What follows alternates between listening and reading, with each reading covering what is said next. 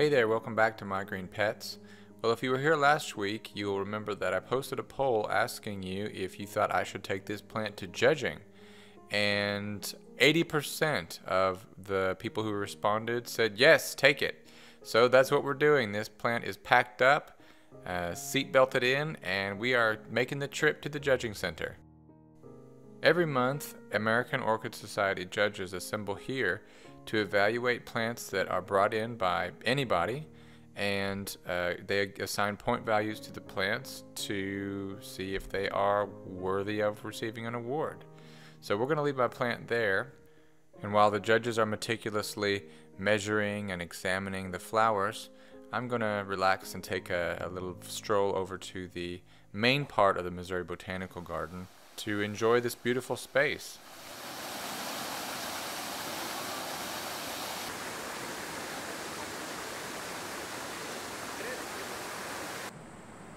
Here's a massive, beautiful ginkgo tree. I'd really like to have a ginkgo tree. It's something about how ancient they are It's just kind of inspiring when I see them. Alright, I'm going to give you guys some information about the Climatron from the Missouri Botanical Gardens website in my best documentary voice. The Climatron is the first geodesic dome to be used as a conservatory. It opened to the public on October 1, 1960. In 1976, it was named one of the 100 most significant architectural achievements in United States history. The term climatron was coined to emphasize the climate control technology of the greenhouse dome.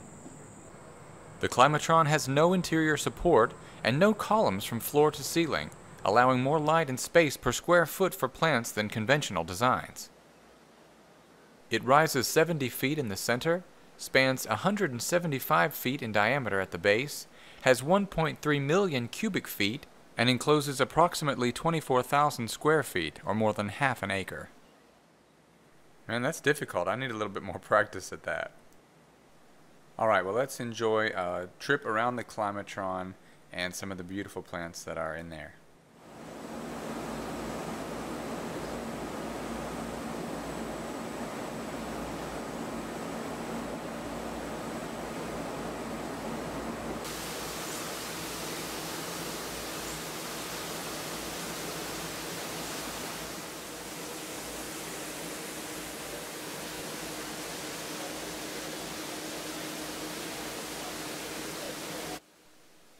I find that many orchid growers also grow these tropical pitcher plants, these nepenthes, because they kind of have similar cultural conditions and they are really spectacular.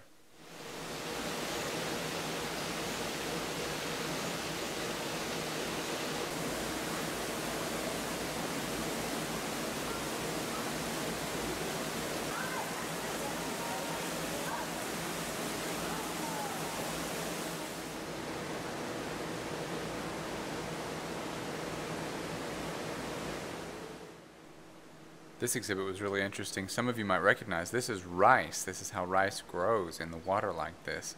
And the little information card said that rice, rice feeds half the world's population. Pretty amazing.